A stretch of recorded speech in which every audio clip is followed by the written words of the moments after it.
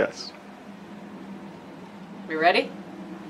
Okay, so this is just an example of a video of um, what I'm hoping if you'd like to help us out in Junior Achievement, we'd like to uh, start sending some thank yous from, straight from the students instead of our boring letters all the time. So I'm going to just do this video quickly as a model of how you could maybe do a thank you video. So the donor in question, there's two. One is Bob Lee, and the other is a corporation called Great West Life Insurance. And the first thing I'd like to do for is this is as simple as it could be. Uh, it could just be someone pretend I'm a student alum from a JA program. I come up, get my uh, friend to use their iPhone, videotape a clip that might go something like this. Mr. Lee, I heard recently that you made a generous gift to Junior Achievement, and as someone who's taken a Junior Achievement program, I think that is fantastic.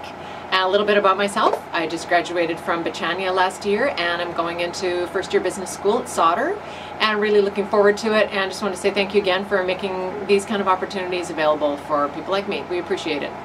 And it can be that simple, that's all I think we're looking for. Uh, a little personal story maybe, and just a thank you with a name in it. And uh that's it.